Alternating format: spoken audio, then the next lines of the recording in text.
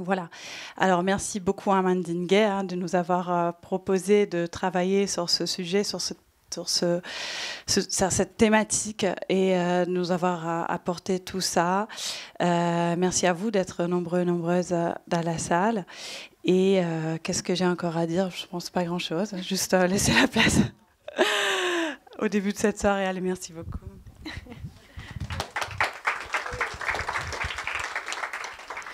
Moi, je tenais aussi également à remercier le Spoutnik, Alice et Daniel, et puis toute l'équipe pour leur accueil. C'est la deuxième année que les créatifs collaborent avec le Spoutnik et on s'en réjouit beaucoup. Euh, merci Amandine pour cette proposition d'événement, euh, parce que ça vient de toi. Euh, la discussion, on l'a intitulée Adoption internationale, la parentalité et politique. Alors, le festival Les Créatives, la particularité, c'est qu'on cherche à mettre en avant plutôt les femmes. Donc, même si la question d'adoption ne traite ne concerne pas du tout que les femmes. Du coup, sur le panel ce soir, c'est quatre femmes euh, qui vont vous parler de, de cette question. Euh, Amandine Gay a choisi euh, avec nous le panel et c'est elle qui va le modérer. et c'est important parce que c'est un sujet qu'elle est en train de développer dans son futur projet, mais ça, elle vous en parle. Donc je voulais remercier nos intervenantes, Feneke Reizo, qui est professeure à l'IHEID, au centre genre, Dida, la fondatrice de l'association Born in Lebanon, qui est également musicienne, et puis, euh, thank you to Sarah Saijin Chan, euh, qui va nous présenter son projet euh, de Mother Mountain Institute. Je tenais également à remercier énormément du fond du cœur nos bénévoles qui nous accompagnent dans le festival depuis le début. Et puis, nos deux interprètes de ce soir, Marie Delutz et Émilie Ferreira, qui sont là.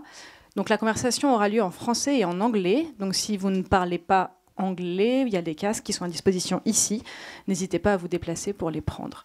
Juste pour vous dire que le festival termine euh, euh, dimanche 25 novembre euh, et qu'on espère vous voir nombreux et nombreuses dans les prochains événements. je vous signale la marche qu'on organise samedi 24 novembre L'idée, c'est de faire un rassemblement contre les, violences faites aux femmes et on a convié la fanfare afroféministe 30 nuances de noir qui va mener la marche. Et le point de départ est à 15h devant Unimail. Donc voilà, si vous voulez vous joindre à nous, avec grand plaisir. Et puis de toute façon, on se revoit demain soir, j'espère, pour la projection du film, encore en présence d'Amandine. Voilà, merci beaucoup en tout cas pour cette, euh, pour cette séance. Et puis je laisse la parole à Amandine, je pense.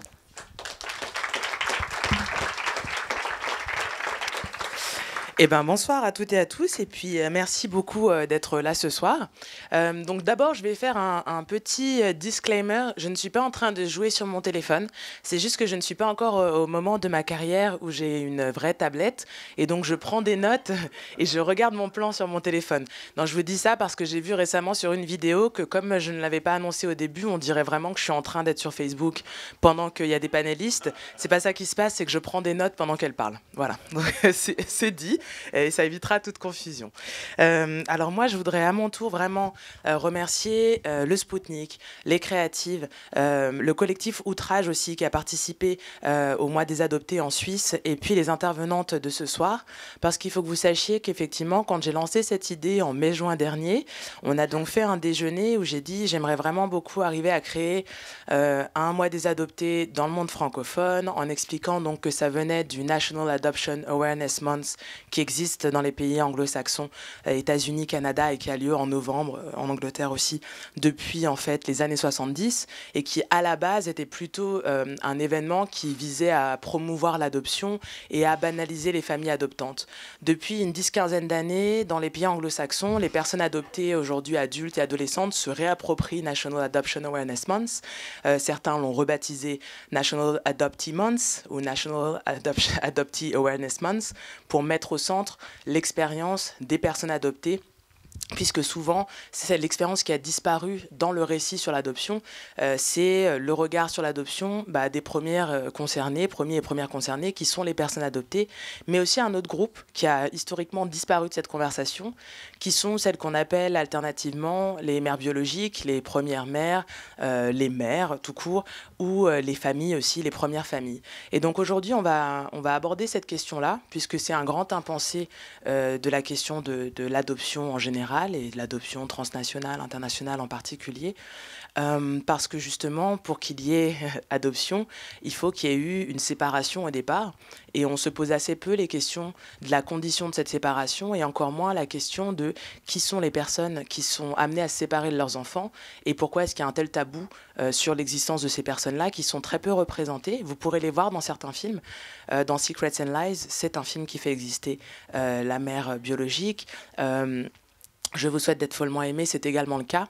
Donc ça a été aussi l'idée de, la construction euh, du cycle de films qui est présenté au Spoutnik, c'était d'aller chercher différents types de représentations de l'expérience des adoptés euh, et, euh, de, de, représentation, au moins d'existence des, premières mères ou mères biologiques ou mères tout court. Je, donne ces trois termes parce qu'on aura une discussion plus tard sur, pourquoi est-ce qu'on on peut avoir différents termes autour de ces questions-là. Et donc je remercie vraiment les, créatives et puis le Spoutnik et l'espace A aussi, euh, qui, nous ont, qui nous ont vraiment soutenus, et euh, le collectif Outrage, puisque ce sont toutes les personnes qu'on a été voir donc au printemps dernier, printemps-été dernier, et qui ont complètement embarqué dans le projet et qui ont accepté donc Outrage Collectif pour fêter ces un an. On fait une, une rencontre en non-mixité entre personnes adoptées et puis la projection du film Merci Merci. L'association Espace va accompagner toutes les projections, débats à suivre de, des films du cycle du mois des adoptés. Le Spoutnik accueille les films et les créatives accueillent la discussion de ce soir. Et donc c'est vraiment un moment aussi intéressant intéressant euh, du, dans, le champ de l'adoption et dans l'histoire euh, de l'adoption transnationale et transraciale, puisqu'effectivement, c'est le moment où euh, la, grande, la majeure partie des personnes adoptées, par exemple en France en tout cas, peut-être que c'est un peu différent en Suisse, mais je ne pense pas, mais en France, il y a entre 200 et 250 000 personnes qui ont été adoptées localement et internationalement, et la grande majorité aujourd'hui sont des adolescents et des adultes. et c'est pour ça que c'est intéressant, puisque ces personnes sont aujourd'hui en mesure de donner un retour sur leur expérience. Euh, et c'est aussi intéressant parce que, par exemple, euh, ce sont aussi des personnes qui investissent le champ de la recherche. Pendant très longtemps, le monde de la recherche euh, en adoption a été dominé par les parents adoptants ou les candidats à l'adoption. Et aujourd'hui arrivent les personnes adoptées qui se mettent à produire des mémoires, des thèses sur ce sujet-là, avec leur regard et qui vont venir aussi questionner certaines représentations. Donc, pour nos euh, trois intervenantes d'aujourd'hui, ça a déjà été dit, mais donc je vais re-inviter euh, Dida Guigan, qui est auteure, musicienne, chanteuse et fondatrice de Born in Lebanon. Ou tu veux venir après? Quand après, après la vidéo de Sarah Peut-être comme ça, vous n'avez pas besoin de vous. De... Voilà, c'est Dida qui est juste là. Ensuite, nous avons donc Feneke Rizzo, qui est anthropologue directrice scientifique du Centre Genre de l'Institut de hautes études internationales et du développement de Genève. Et puis nous avons Sarah euh, Sejin Cheng, euh, Sarah, aussi Sarah von der Heide, qui est artiste et qui va nous présenter euh, dans, dans, quelques minutes euh, son installation The Mother Mountain Institute. Juste avant de commencer, je vais vous donner quelques définitions, alors pas tant pour fixer et euh, voilà, mettre des barrières dans la conversation, mais plutôt parce que comme on est euh, plusieurs personnes qui évoluent un peu dans le champ de l'adoption, il y a des termes qui, ont, qui évoluent. et c'est plutôt ces termes-là qu'on va utiliser, ou en tout cas aussi qu'on va questionner ce soir. Donc, euh, j'ai parlé de séparation un peu plus tôt, euh, puisque généralement, on entend plutôt le terme abandon. Donc, on développera ça plus, en, plus précisément dans la discussion. Euh, mais séparation, ça permet de déjà donner une idée du fait qu'il ne s'agit pas toujours d'abandon stricto sensu. Quand on pense à abandon, on va penser peut-être à un enfant laissé au milieu de la place du marché, alors que pour beaucoup de cas, les adoptions sont des processus, on va dire, légaux. Par exemple, en France existe toujours ce qu'on appelle la naissance sous X, l'accouchement sous le secret. En fait, c'est un programme gouvernemental. Les femmes qui vont euh, se séparer de leurs enfants euh, font des, rencontres avec des assistantes sociales, euh, signent des papiers qui disent qu'elles acceptent que leurs enfants soient confiés en adoption, etc. Et donc, dans ces cas-là, il s'agit, on va dire, d'un processus vraiment avec aussi décisionnel du point de vue de la, de la mère qui se sépare de son enfant. Et donc, du coup, le terme abandon n'est pas forcément, on va dire, le, terme qui, est le, qui représente mieux la réalité de ce processus. Donc, on discutera de, ça un peu plus. Mais déjà, ça vous donne une idée de pourquoi certains termes déjà sont politiques. Et puis, plus généralement, on va aussi discuter le fait que historiquement, l'adoption a souvent été présentée comme le résultat de... Alors, avant, un terme aussi qui était utilisé, qui a quasiment disparu, c'est le terme orphelin. Euh, il faut se rendre compte que finalement, les personnes qui sont adoptées ne sont pas toujours en rupture complète avec leur famille au sens élargi. C'est-à-dire que même si une personne n'a plus ses parents, et ce qui n'a pas non plus toujours été le cas, donc on reviendra aussi sur les distinctions entre adoption euh, légale, adoption irrégulière, euh, et différents cas, par exemple, aussi simplement en France, on a différents types de lois, euh, par exemple, vis-à-vis -vis de la Polynésie française, puisque en Polynésie française, l'adoption plénière, donc ce qui veut dire qu'on rompt les liens juridiques et les liens de filiation avec la première famille, ça n'existe pas. Et donc les personnes qui veulent adopter en Polynésie française doivent accepter d'avoir une relation avec la première famille. Donc cette question aussi de malentendu historique qu'il y a pu avoir entre des cultures, des personnes issues de cultures occidentales pour qui l'adoption euh, ou la famille, la filiation, c'est dans une vision, on va dire, un peu euh, de on va dire une, vision de l'enfant comme propriété. Euh, donc l'enfant n'est qu'à vous, et d'ailleurs c'est l'expression un enfant à soi.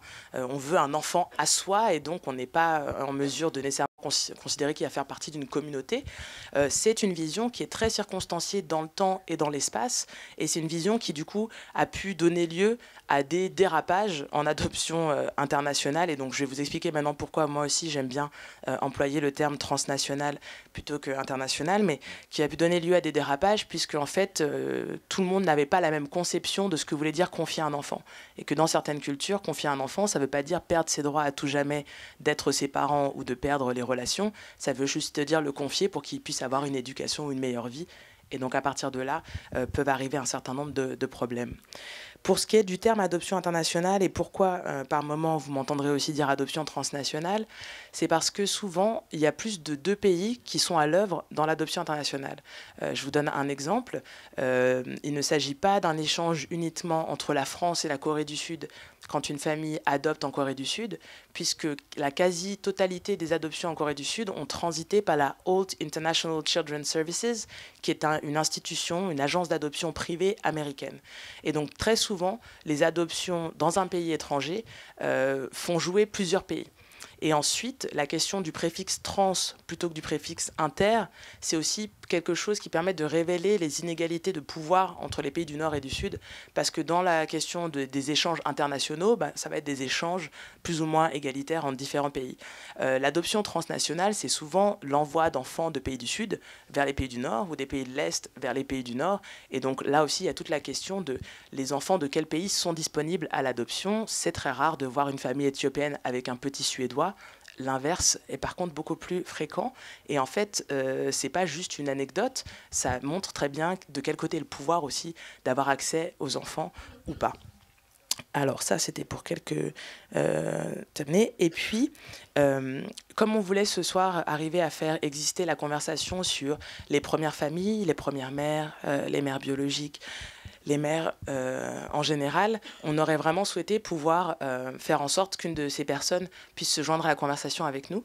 Et donc on a fait des recherches, mais eu égard à la, puissance du tabou et du stigma sur euh, l'existence des femmes qui se séparent de leurs enfants, ça n'a pas été possible.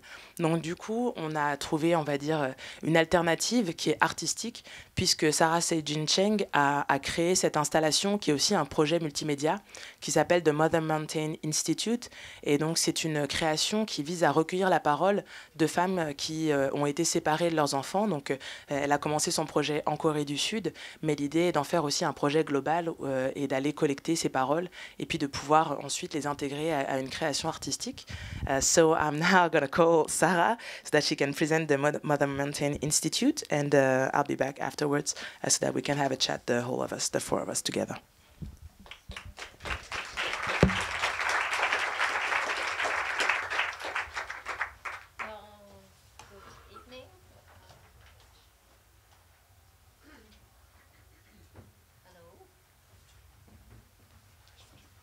Oh yeah, yeah. Um, uh, well, thanks. Okay. Uh, I just want to uh, thank Amandine and uh, Aunt Claire and everyone for uh, inviting me. uh, I think uh, it's it's wonderful to be with with uh, these people uh, who Amandine has invited, and oh, it's already playing. One second. Um, yeah, so I first I, I wait, stop. Uh,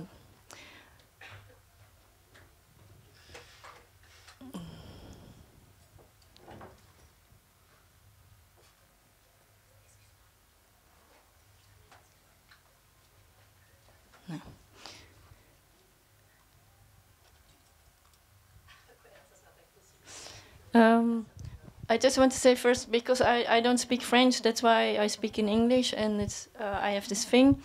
Um, um, it's not good. Something is wrong. It should just.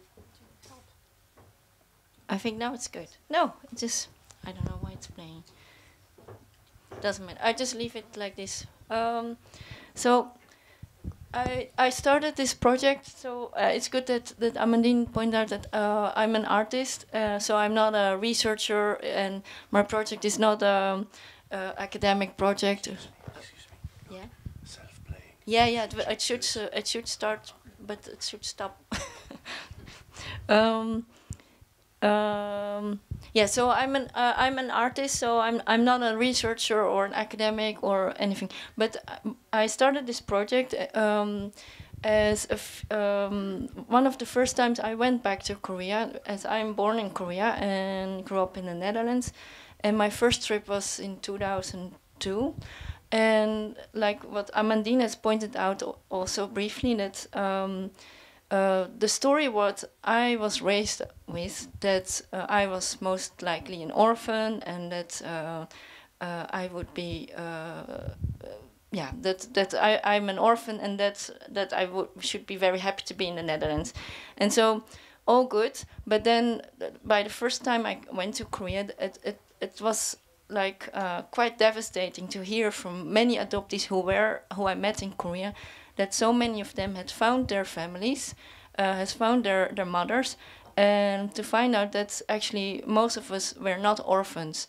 And so um, to hear that, to find out, uh, is, is quite shocking uh, because you were, every one of us has been raised with the idea uh, we are um, an orphan and we are, we are you know like this this image goes in your head and it's and it gives gives a certain uh, idea of, of, of, who you are and then and, and then it shifts.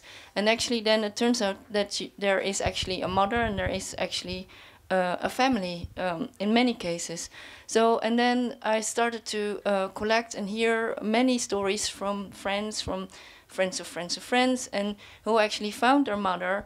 And uh, and a pattern seems to be arise for me. And the pattern was that um, uh, these most of the women who um, who were relinquished their child, who were separated from the child, were actually pressured by society, by their family, uh, or the church, or even by adoption agencies from the West to uh, give up their child and uh, the narratives where you're not good enough, you're uh, you're single mother.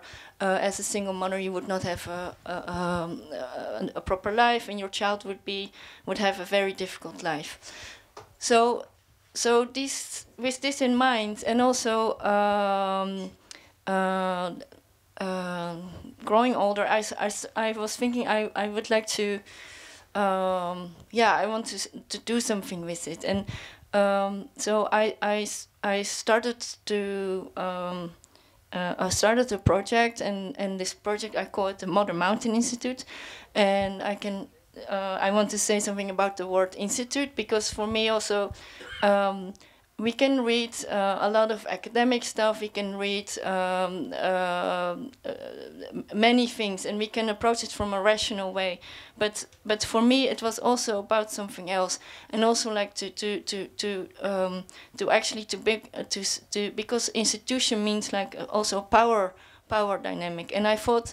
Um, the women who were uh, unable to speak up, unable, unable to say no, I think it's uh, and also the babies, us, uh, we were at that time not able to say like we want to stay here. We don't want to go on an airplane. We don't want to go to a country where uh, we be told you're not from here, etc., etc. So um, to actually to give us a bit of a body or to, to give us um, um, to and and to play with the idea of the institution of the of the organization also uh, like because all the powerful adoption agencies who have their um, uh, ties with the governments who have their connections with uh, the church who have their connections with um, literally it's the government and etc etc so they are they are they are they have access to governmental policy and where where actually the people who are uh, who, who it concerns whose life is is wrecked uh, who is destroyed um, they are not able to um, to to speak and to to have a so um, and that is also a bit part of my work. So to I, I sometimes um, play with these um, tools, uh, European white Eurocentric uh, institutions, or or um, I, I quite I use some of their mechanism and I just turn it around and I unmake their narratives and I remake them. So this is a bit like uh, a work of it. Fit, it's like it fits in my practice of, uh, of, of, of of questioning these things. So what I uh, what I did in 2017, um, I I yeah I, I I found a mother who was willing to be interviewed, and it was very difficult to find one, and indeed like uh, because of the stigma and the shame, and also um, what I've noticed, most of the women, most of the mothers, they are not doing well. They are they are traumatized for life, so it's very difficult, and some of them they're having huge addiction problems. They they have mental problems, uh, psychological problems. So um, many of them they never really got were healed, and I think many of the adoptees adoptees were also never really healed from that that that wound. And so also the Mother Mountain Institute is is also um, maybe a, also, and that I will refer to later there is also a, a, spiritual part because I think the pain is is beyond words. It's beyond something we can solve, and so the project also has involved uh, walks to mountains, which are known for their spiritual qualities, and uh, I've spoken with. Um, uh, head monks from a Buddhist monastery. I spoke with shamans, and they they spoken certain words to me uh, about this this loss. So uh, what you will see, um, you there's I I built a, a, box, and the box is uh, uh a model, a larger model of. Um, a table model um, which represented the universe at the time when it was made, like in the 18th century or something. So there was a uh, were two balls, and it represented the sun and the moon, and uh, so they would rotate, um, but for me, they would also represent the sun and the moon. Uh, the, sorry, the mother and, and, and child, like who, who keep orbiting around each other, maybe trying to find each other again. And in the middle, you see, um, yeah, you will see it later. There's a small mountain, and and in the in the corners there are two uh, speakers, and in the uh, from the uh, speakers you will hear the sound of the the mother who I've interviewed, and she will tell what's uh, what what how and what has uh, yeah how how it all happened, and in the meantime, alternating, you will hear the mountain sometimes speaking. So uh, I will uh, uh, ask the operator to turn on the sound, and uh, but maybe it's good to know like I um, so the the the interview was of course in Korean, and then it was translated to English and I had a voice actress um, narrate it. Um, but the, the so the, the the voice is is narrated with uh, is made for this installation and the sound was the acoustic was a bit difficult so she speaks very clearly. So that that's why it it, it is uh, it is narrated like that. So I just want you to know that. And yeah so it might be difficult for some people to hear because it's it is quite uh, a story. Um, but nonetheless, uh, yeah, just let's let's listen to it, and I will show some images and drawings of the project.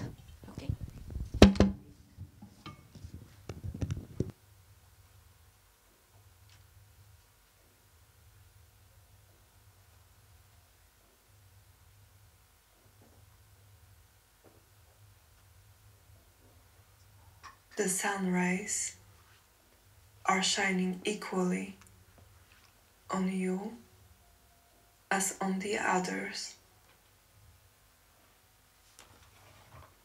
The universe is here for you. You sweet foundling, you may live the way birds live.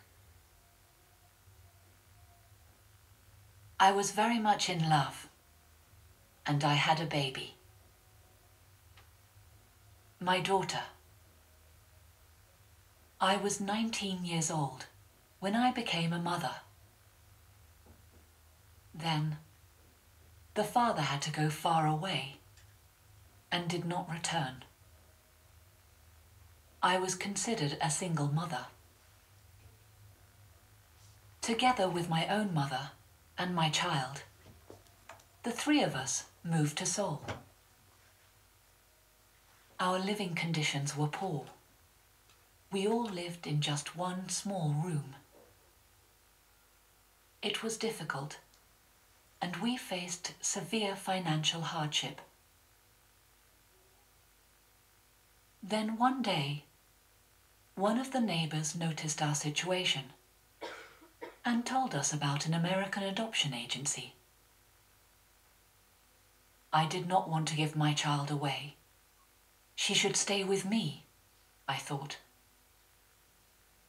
My mother, the neighbors, and some elders from the community talked at length with me and eventually persuaded me to let her go.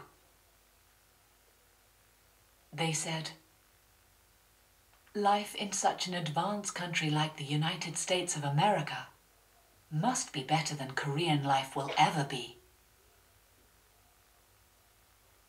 The American agency approached me and told me, You are too young to take care of your child under these circumstances.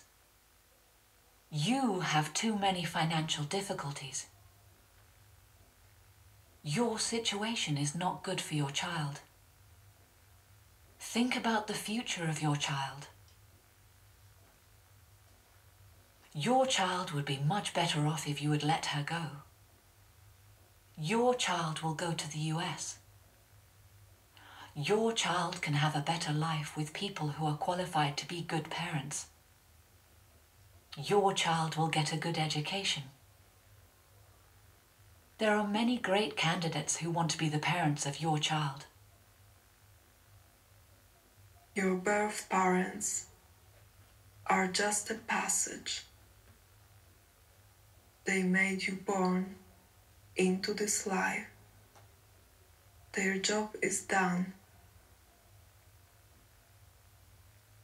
Many other women from the neighborhood had sent their child away.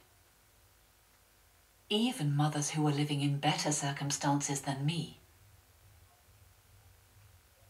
The American agency told me I would receive an update every month from the American parents about my child. At a meeting with the American Adoption Agency, a picture of the new parents was presented to me. The American parents looked very generous and kind, and I decided it was better for my child's future to send her to America. They gave me a date when to bring my child to the airport. At the airport, the new parents were not there. Only the staff of the American agency were there. There were eight or ten other babies. They were all going to the Netherlands. Your purpose is to come to Europe. I had noticed my child had already figured out that she was going away. When getting on the airplane, she said, Goodbye. Then she was gone. Apart from her clothes, there was no trace of her. I was in so much pain. Everywhere. every day, every night. Year in, year out. The pain did not go away. I did not know how to live anymore. Although the American agency had promised me that I would receive a monthly update, I did not hear anything. She was gone. I missed her so much. I did not know how to continue to live without her anymore. I felt so much shame of having sent my child away. I felt so much guilt of not being able to take care of my child. But the biggest pain was missing her. The loss. The pain was a physical pain and always there. Over the years, I went back to the American agency time after time, and I tried to find out where she was staying. The agency did not want to tell me. They said, We don't have the file anymore. They said, We could not give the file to you even if we still had it. They said, You gave your child away. They said, Your child is in good hands and she is having a good life. They said, It was not us who carried out the adoption. I was afraid of moving, as I might possibly miss some news about her. But still I did not hear anything. You sweet foundling, you may live the way birds live. Then one day, I received a picture of her and her new parents. I found out that my child was not in the US, but in the Netherlands.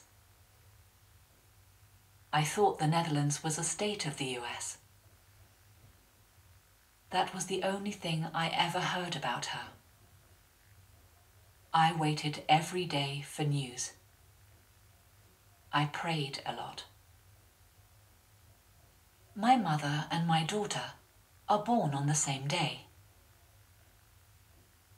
Every year, when it's almost her birthday, the days become dark.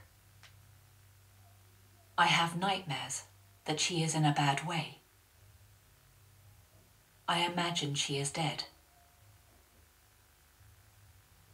I look for her on the streets. I look for her on the TV. There is a famous actress with the same name, and I imagine she is doing so well and has returned to Korea as an actress. I never thought it was goodbye when I brought her away that day. She came back to find me.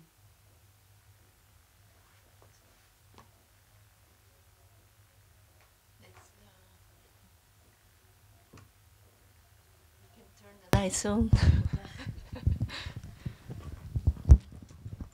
so this, uh, yeah, so this has a good ending in a in the sense that they found each other. Um, yeah, so um, I don't know. I can say a lot more also about the Korean situation and uh, this, all the circumstances, but I think it's a good. Uh, Amandine says also like to, to move on, and so I think we'll, there will be plenty of time to speak further.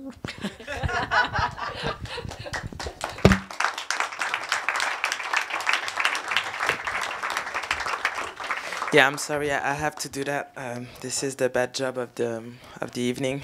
So Fenneke, uh, would you would you come in? And I think um, Dida's uh, gone out for for one minute. Uh, where, wherever you want, one of the two. Um, and then I'm just gonna.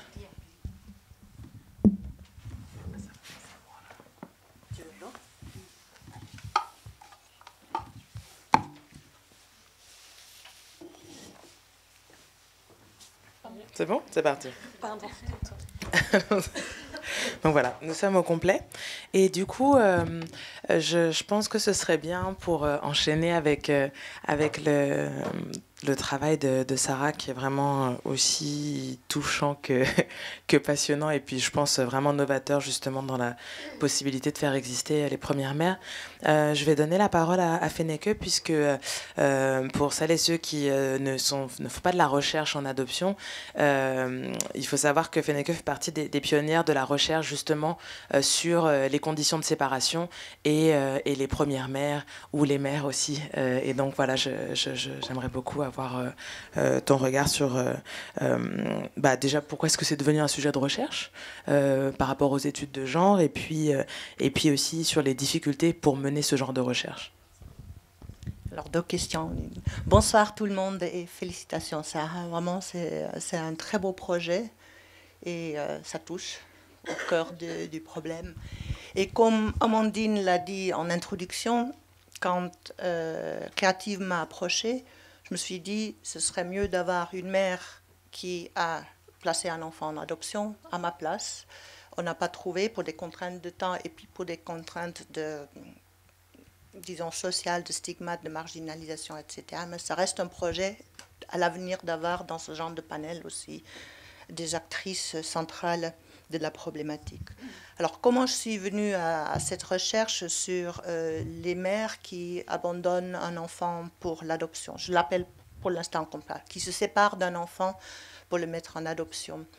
J'ai travaillé pendant de longues années euh, sur la thématique de la santé et les droits reproductifs et sexuels.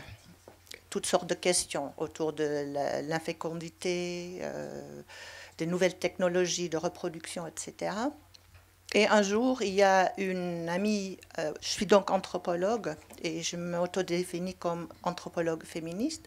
Il y avait une amie anthropologue qui avait fait une double formation. Elle, avait un master en, anthropologie, mais aussi un, un master en études d'adoption. Ça existe en Hollande. Il y a une filière, parce que je suis hollandaise, j'étais en Hollande. Et professionnellement, elle a travaillé pour une agence d'adoption en Hollande, une des plus grandes agences d'adoption en Hollande. Et euh, pendant qu'elle était là, donc en fait, elle accompagnait les enfants qui transitaient trans transnationales d'un pays à l'autre pour être placés dans des familles candidates à l'adoption aux, aux Pays-Bas. Et pour ce travail, elle avait été euh, en Inde et elle s'est bien rendue compte qu'on parle d'orphelinat et d'orphelin, mais qu'il se passait autre chose. Et elle commençait à se trouver à porte-à-faux avec sa pratique. Euh, et en fait, euh, cette institution, une des institutions dans ce dispositif international de l'adoption euh, internationale ou transnationale. Elle a dit, j'aimerais étudier l'autre côté de l'histoire. Donc en fait, le supply side, c'est un mot qui est pas très apprécié dans le monde de la recherche de l'adoption. Dit, tu as qu'à écrire un projet de recherche et je t'accompagne, je serai euh, ta superviseuse, enfin directrice de thèse. Elle a écrit un projet de recherche euh, pour, euh, pour subvention et ça a été en première instance refusé. Ce n'est pas une, une, recherche très porteuse. Il faut le resoumettre. Et puis deuxième année, elle a obtenu ce projet-là. Elle voulait aller en Inde parce que c'est là qu'elle avait fait un stage. Et en anthropologie, on appelle ça faire du terrain. On va pour une certaine période euh, sur place. Elle a dit il faut au moins que j'aille deux ans parce qu'il faut que je gagne la confiance. C'est pas comme ça qu'on perce ce secret. C'est pas comme ça qu'on identifie. Mais elle avait aussi une agenda politique. Elle voulait avoir un permis de recherche officiellement reconnu. Alors, pour l'avoir en Inde, c'était quand même la croix et la bannière, mais elle l'a obtenu. Et elle a voulu, elle était dans l'État de Tamil Nadu, en Inde, et elle a eu accès à toutes les institutions dans l'État de Tamil Nadu, en Inde, qui avaient une licence d'adoption internationale, Intercountry Adoptions. Parce qu'elle ne voulait pas qu'à la fin, la recherche dise oui, c'est dans telle institution, mais pas dans telle institution. Et cette recherche, alors j'ai fait quatre recherches, je ne vais pas aller dans le détail sur les quatre, mais cette recherche qui a d'original, c'est qu'elle a pu aller dans ces institutions, elle a eu accès, et la méthode anthropologique, c'est juste d'être là, hang out, d'avoir la vie quotidienne de ça. Et ces institutions, alors, orphelinats ou euh, short stay homes accueillaient des soi-disant femmes en détresse, mais c'était souvent des filles non mariées qui étaient enceintes. Alors le mariage, qui est marié, non marié, c'est encore toute une histoire, je ne vais pas rentrer dans les détails. Et cette recherche-là, elle a pu donc les observer, causer avec elles au moment où elles étaient enceintes, mais en fait, dans le processus décisionnel, est-ce que je vais garder mon enfant ou pas garder mon enfant, mais qui n'était pas encore un enfant, c'était un fœtus dans le ventre. Elle a pu les interviewer peu après la naissance et elles ont été dans ces institutions, elles ont signé un surrender deed, c'est un acte légal auquel elles euh, font distance de son droit de filiation, donc de mère, de, maternité, euh, l'enfant qui va être à ce moment-là disponible pour l'adoption. Ce n'est pas encore un jugement d'adoption, mais c'est un enfant qui devient disponible pour l'adoption internationale. Et elle, elle, les a donc interviewés quelques mois après, aussi pour avoir cette vue rétrospective. J'ai fait d'autres recherches sur cette thématique et c'est souvent des histoires, des histoires de vie rétrospectives. Dans quelles conditions tu vivais, qu'est-ce que tu as fait? Alors cette recherche, c'était vraiment dans le, euh, euh, processus décisionnel et parmi euh, celles qui ont signé le surrender deed, donc c'est un consentement informé, c'est légal et il y a une loi qui, régit ça, il y a eu quelques-unes qui ont décidé de garder cet enfant et d'éduquer cet enfant elles-mêmes, donc en tant que fille, mère, seule, etc. Rapidement sur les deux autres, c'était une autre doctorante qui était ici à Genève, mais elle était ukrainienne. Elle a travaillé sur le placement d'enfants en institution par les mères qui ne pouvaient pas, à ce, moment-là de leur vie, les élever elles-mêmes. Et bon, l'Ukraine, ex-pays euh, euh, de l'Union soviétique, institutionnalisation, il y avait une loi là-bas, si la mère vient pas visiter l'enfant dans un espace de trois mois, l'enfant devient disponible pour l'adoption. Et ces institutions, souvent, étaient éloignées de là où elle vivait. Elle n'avait tout simplement pas ni le temps ni les moyens d'y aller. Et en fait, elle était destituée de leur parenté et l'enfant était rendu adoptable sans même qu'il y avait une euh, signature d'un document. Par la suite, euh, avec la collègue euh, qui a fait cette recherche en Inde, aux Pays-Bas, il y a eu vers donc situe dans le temps, vers 2010, un nouveau gouvernement de coalition où il y avait un parti chrétien. Et ils voulaient remettre en question la loi sur l'avortement. Ils voulaient prohiber l'avortement. Ils ont dit, ces filles qui tombent enceintes non désirées n'ont qu'à abandonner cet enfant. Alors là-dessus, ils ont voulu des recherches. Il y a une recherche sur euh, les mères qui, ou les femmes qui ont avorté les parents adoptifs et l'expérience de l'adoption. Et nous, on a insisté à ce qu'il y ait une recherche sur les femmes qui ont abandonné un enfant à euh, l'adoption. Alors, pour vous montrer le, rapport de force, la recherche sur l'avortement, je crois qu'il était 200 000 euros. La recherche sur euh, les parents adoptifs, les, adoptés, c'était 250 000 euros. Et nous, on a eu 50 000 euros. Et c'était pour voir euh, interviewer les femmes qui avaient vraiment euh, abandonné un enfant pour l'adoption entre 1997 et 2008. En tout, on en a trouvé sur cette période d'à peu près euh, 10 ans 197. Alors, c'est beaucoup, c'est pas beaucoup, c'est 20 par année. Mais ce qui était important, c'est les femmes qui sont en détresse, elles, elles, sont enceintes, elles ont dépassé euh, le délai pour l'avortement, elles vont dans des structures d'accueil plutôt de soutien social. Elles annoncent donc leurs problèmes et elles sont conseillées plus ou moins d'aller abandonner ou pas. Mais l'adoption est un jugement. Pour savoir qui adopte, il faut aller dans les archives de, des tribunaux. Alors, ce n'était pas évident à trouver ces dossiers. On a dû croiser par les dates de naissance pour savoir les femmes qui consultent et les femmes qui abandonnent finalement pour l'adoption. Une dernière, c'était commandité par le Vietnam. Au Vietnam, euh, il y a eu un moratoire sur l'adoption internationale en 2010-2011 parce qu'il y a eu des abus.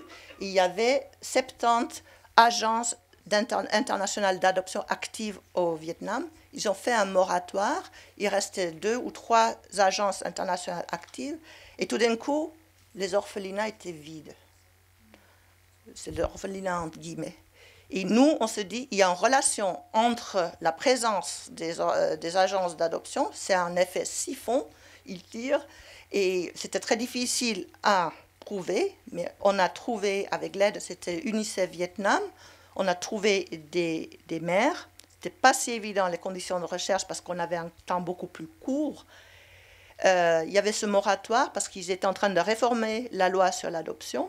Et quand nous, on a publié, enfin, on a rendu à UNICEF Vietnam notre rapport, ils ne voulaient pas entendre les histoires, puis ils ont mis un embargo sur notre rapport. Entre-temps, ils ont réformé la loi, ils, nous ont, ils ont nouveau ouvert les frontières, les agences sont revenues au Vietnam, et puis là, notre rapport a pu être rendu accessible. Je m'arrête là. je, parle, mais effectivement, donc c'est différents contextes, différents dispositifs institutionnels aussi, et différents rapports de pouvoir. Bah, merci beaucoup Feneke. Et euh, je pense que c'est justement l'occasion de donner la parole aussi à Dida euh, sur les conséquences aussi de ces différents rapports de pouvoir et sur la question de la justice restaurative, c'est-à-dire que plus on remonte dans le temps pour les adopter et plus justement la question des adoptions irrégulières, des adoptions illégales, euh, des changements de loi aussi, puisque maintenant par exemple il est interdit d'adopter dans des zones de conflit, dans des zones de guerre, ce qui n'était pas le cas par le passé et qui a aussi donné lieu à de nombreux euh, débordements. Et, euh, et, du coup, comme euh, tu as employé le terme de supply, je pense qu'aussi c'est important de savoir que chez les personnes qui interrogent critiquement et politiquement la question de l'adoption, on parle effectivement de marché hein, de l'adoption internationale ou de l'adoption transnationale, puisque aujourd'hui, je ne connais pas les chiffres pour la Suisse, mais je vais les donner pour la France, le coût moyen d'une adoption d'un enfant étranger en France aujourd'hui, c'est 20 000 euros. Donc c'est pas accessible à tout le monde. Il ne s'agit pas d'acheter les enfants, hein, mais c'est qu'est-ce que ça veut dire de rentrer dans un processus d'adoption, d'aller dans le pays, euh, de payer des intermédiaires, des avocats, etc., les agences d'adoption. Euh, à partir de ce moment-là, il y a effectivement une question de marché, c'est-à-dire par exemple qu'il y a aussi des, des coûts variables. Euh, les pays de départ, c'est pas c'est 20 000 euros en moyenne. Donc par exemple pour le détail au Canada, pour un enfant d'origine coréenne, on est autour de 50 000 dollars. Pour un enfant d'origine africaine, on est plutôt autour euh, de 5 euh, à 8 000 dollars. Donc cette question aussi de comment les préférences raciales vont s'exprimer au travers du coût final euh, d'une adoption internationale, c'est aussi un, autre enjeu politique. Et donc du coup, je pense que là, ça va être intéressant de parler peut-être un peu justement du côté des dérives et du fait que euh, de que se passe-t-il, un peu comme l'a dit aussi Sarah dans sa présentation, quand on a grandi avec une narration, c'est-à-dire euh, tu étais une pauvre enfant abandonnée dans un pays pauvre, sans parents, etc., et qu'à l'âge adulte, on décide de faire un retour dans son pays d'origine euh, ou des recherches, et que là, on découvre que la narration est, est peut-être très très éloignée de la réalité, et donc aussi vers qui on se retourne, ou même contre qui on se retourne, et que se passe-t-il quand tout d'un coup, on se retrouve à avoir des générations qui sont issues de pays où quasiment toutes les adoptions étaient irrégulières, voire illégales. Et là, je pense par exemple euh, à des cas comme euh, la découverte dans les années 80 des baby farms au Sri Lanka. Aujourd'hui, ce sont des personnes qui, sont, euh, bah, qui ont la trentaine, moi je suis né en 84, et qui, pour une grande majorité, sont issues d'adoptions irrégulières, voire illégales. Qu'est-ce qui se passe quand d'un coup on, se retrouve avec une, une masse comme ça d'individus qui partagent ce genre d'histoire Comment est-ce qu'ils peuvent s'organiser? Et donc, voilà, si tu peux un peu nous parler de, de Born in Lebanon et de, et de justice restaurative. Merci Amandine. Alors, euh, oui, Born in Lebanon a été créé effectivement pour euh, répondre aux besoins des personnes adoptées du Liban. C'est une, euh, association qui a été créée en Suisse en 2015 après une tentative, enfin pas une tentative, même une réussite de co-création d'une autre association au Liban qui s'appelle Bada et l'alternative et qui voulait euh, tout d'abord euh, se pencher sur la question première des mères de naissance, euh, m'étant rendu compte que c'est bien là que résidait euh, la violence et le, noyau de l'histoire. Peut-être pour rappeler vraiment que moi je pense vraiment qu'on est dans une thématique euh, féminine euh, au sens féminin, donc pas seulement de la femme, mais d'une énergie féminine qui n'a pas pu être accompagnée et, soutenue au moment de, la naissance comme comme l'a prouvé le, très joli film de Sarah et toutes les thématiques qui entrecroisent finalement cette essence-là du, féminin. Euh, Born in Lebanon euh, se concentre surtout sur le besoin des personnes adoptées parce que euh, ayant euh, voilà moi je voulais tenter de, rendre un service extrêmement complexe donc il servait d'abord la femme en détresse ou en situation de vulnérabilité comme tu le disais Feneke et puis aussi euh, les personnes adoptées en me disant que tout, voilà, on était un peu tous dans le même bateau. Mais en fait, euh, quand on commence à vouloir répondre à des besoins et à accompagner l'être humain, euh, des besoins très particuliers, et on se rend compte qu'on ne peut pas tout faire en même temps et que même si nous sommes victimes d'une violence conjointe, moi je l'appelle comme ça, une séparation où la mère et l'enfant voilà, ont, une blessure qui s'est passée au même moment, bien ils l'ont vécu quand même dans deux pays différents, dans deux communautés différentes, ont été accompagnés tout à fait différemment. Donc euh, c'est comme ça que Born in Lebanon est né. Euh, j'ai décidé de centrer l'accompagnement vraiment d'abord pour les adultes adoptés et simplement pour des raisons logistiques. Quand j'ai retrouvé euh, ma famille biologique, c'est une longue histoire que je ne vous conterai pas, mais euh, ça a passé dans les médias et du coup, les coups de téléphone ont été tellement nombreux que c'était pas possible de ne pas créer une association simplement pour être en mesure de répondre aux besoins. Alors, euh, ce qui est intéressant, et je vais vite rebondir du coup un peu sur cette question de justice restaurative qui semble intéresser t'intéresser particulièrement. En fait, cette idée-là, elle est née simplement euh, voilà, de, la réponse aux besoins qui ont été évalués après avoir rencontré euh, tant de personnes adoptées là depuis quand même 5-6 ans et puis avoir observé mes besoins aussi, les besoins de ma mère biologique. En fait, on s'est rendu compte qu'il y avait un, besoin de recherche d'origine, ça c'est un, besoin très très très grand. Euh, il y a un besoin de reconnecter avec d'autres personnes adoptées pour pouvoir se raconter pour pouvoir échanger des informations, parce qu'effectivement, dans le cas de, des adoptions dites irrégulières, je ne rentrerai pas dans ce sujet non plus parce qu'il est vraiment vaste et complexe, et euh, par rapport à chaque pays d'origine, euh, les règles sont différentes. Donc en Inde, c'est pas pareil qu'au Liban ni qu'en Corée. Euh, il y a le besoin aussi pour certains, effectivement, d'avoir réparation au-delà de la parole. Hein. Certains certains adoptés sont allés jusqu'à tenter de voilà d'accuser, de, traîner euh, certaines personnes en justice. C'est très compliqué, mais je pense que c'est un besoin, euh, s'il est là, auquel la société euh, doit réfléchir et pouvoir y répondre. Et du coup, moi j'ai découvert, je vous le cache rien, c'est pas mon idée, la justice restaurative en ayant suivi la formation La Vie. Je ne sais pas si vous connaissez donc euh, le centre d'aide des victimes d'infractions. Parce que je me suis dit, enfin c'est une évidence, qu'en fait, nous parlons, quand nous parlons d'adoption, derrière l'adoption, il y a des histoires euh, de violence, de violence faites aux femmes, de violence faites aux communautés d'origine, de mensonges. Et euh, je trouve que la manière dont la Suisse a pu répondre à un moment donné euh, aux besoins des victimes de violences conjugales, par exemple, au sein de la vie, est un exemple extrêmement intéressant qui pourrait euh, nous inspirer pour répondre aux besoins des personnes adoptées et des mères des communautés d'origine. La, la, justice restaurative, très très brièvement, se base euh, non sur l'accusation, mais sur la réparation et la réponse aux besoins des personnes qui se sentent lésées.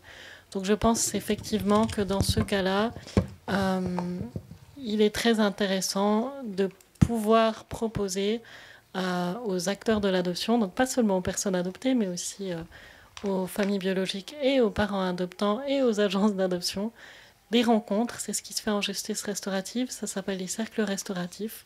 Ça reste dans une, on va dire un environnement, un contexte juridique, ce qui donne un peu cette institution dont Sarah parlait, ce pouvoir, on se sent reconnu par, la société, mais c'est possible de s'exprimer et de réparer.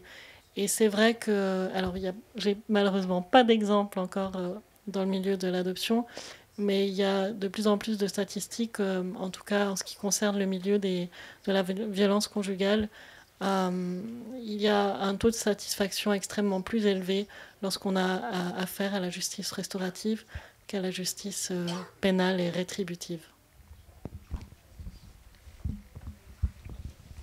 Et du coup, euh, ça va me permettre de relancer justement Sarah sur cette question aussi de la création comme, euh, comme processus, euh, on va dire, de guérison, puisque dans la justice restaurative, en tout cas moi, ce que j'entends aussi dans ta démarche, Dida, et c'est un peu une fois une conversation qu'on avait eue sur cet enjeu de, par exemple, quand il commençait à y avoir des procès à répétition, et là je pense par exemple au cas de l'Argentine, donc je ne sais pas si vous avez suivi, mais à l'époque de la dictature, il y avait donc les desaparecidos, qui étaient les beaucoup de jeunes qui luttaient contre la dictature.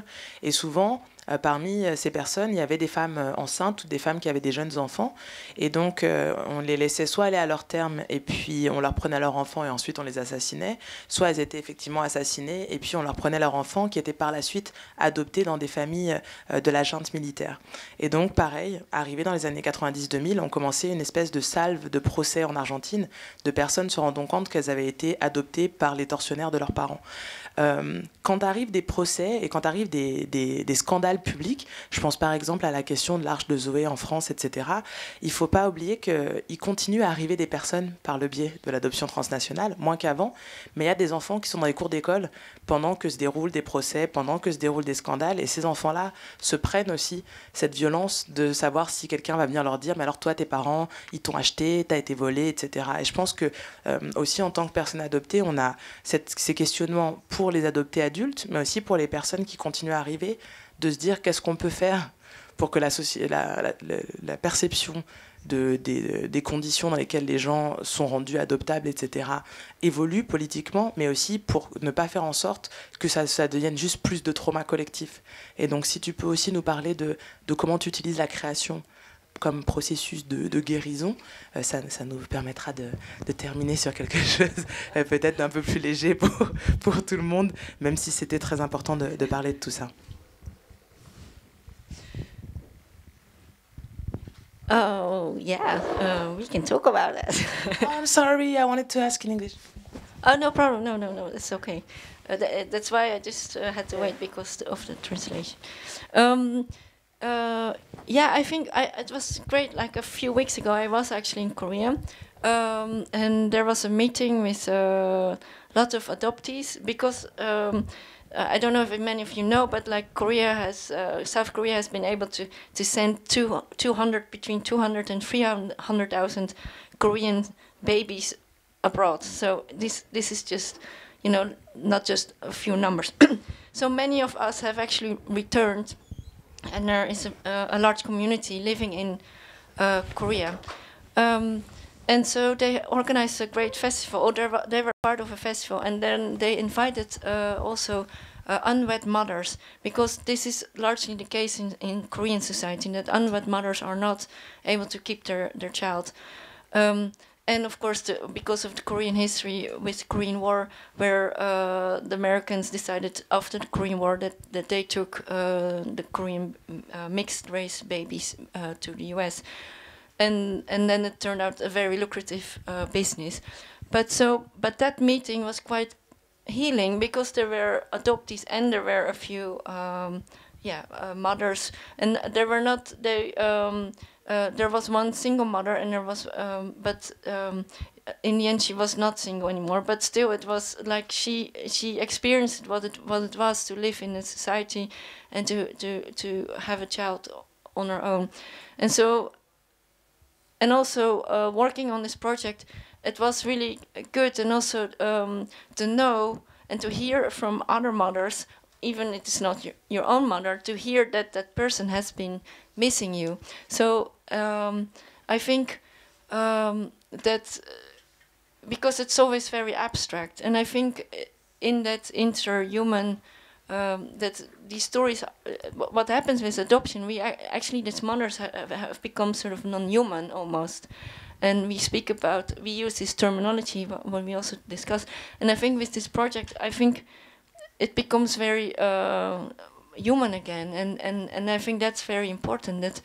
Um, both the adoptee and the um, and the mothers become human again and uh, um, so but the, I I think it's also important that in the in the work there it it lays out a pattern of um, and yeah an imperialistic and a colon, colonial view on the world and i think that's that's what what has also been yeah discussed in earlier discussion and um, and i think it's important that to that people in the west become more familiar with the circumstance and also their their position of um, of of themselves and also um, uh, become aware of where these children are actually coming from, and and and and indeed, then we can start a collective repair. And but it will take, of course, very long. But with this project, I, I wanted to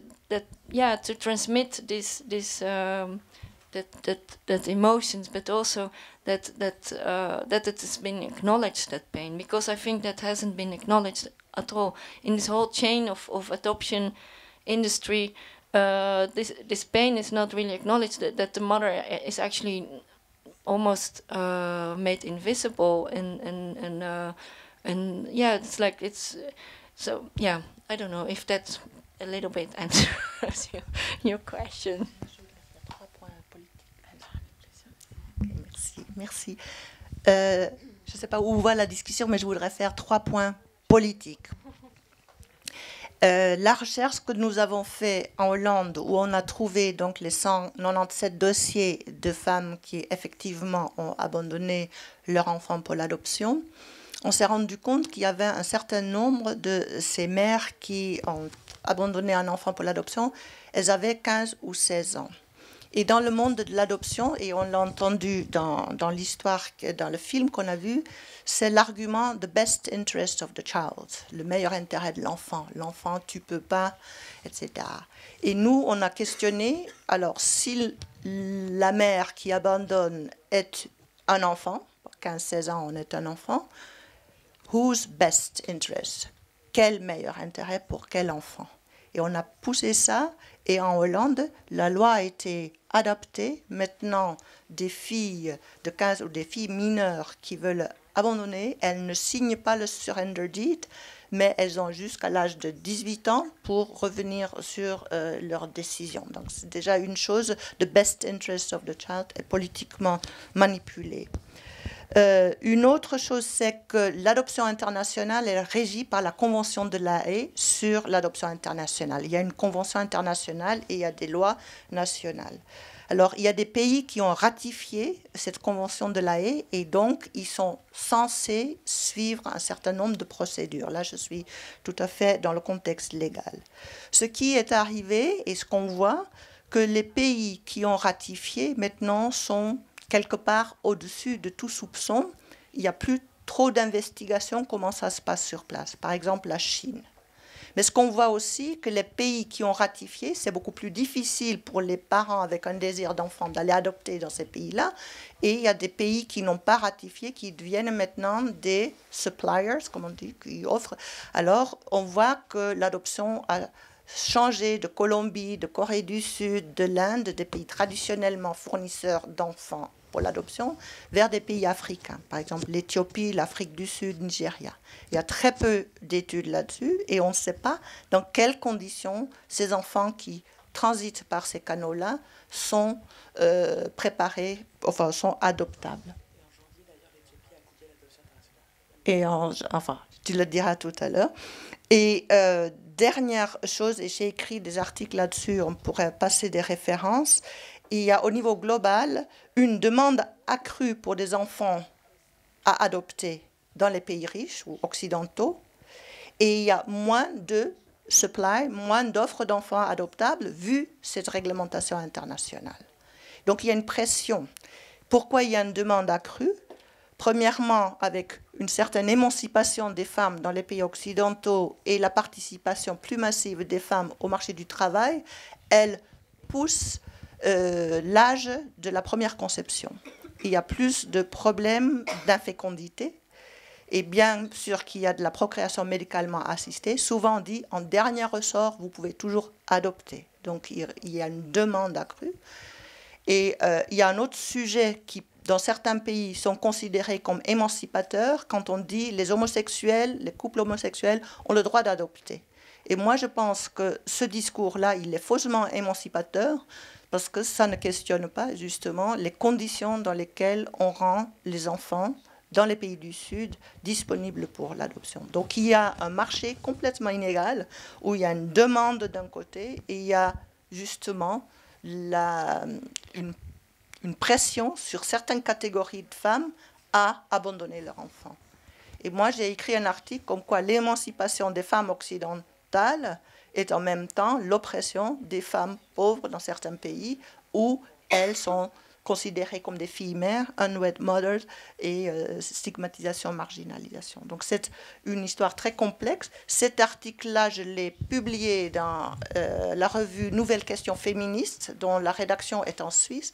Et j'ai eu au moins cinq allers-retours et je ne comprenais pas ce qui était la difficulté parce que c'était c'est pas de marchandises. Il paraît que une des membres du comité de rédacteurs était une mère adoptive et elle avait euh, de la peine à accepter un certain vocabulaire qui allait vers la marchandisation et le supply side of adoption. Donc, même si on fait des recherches, c'est pas forcément facile à faire passer le, message et à se faire publier. Oui, moi je profite euh, de ce que tu dis pour rebondir euh, peut-être sur cette cet accompagnement de la, de la voix féminine.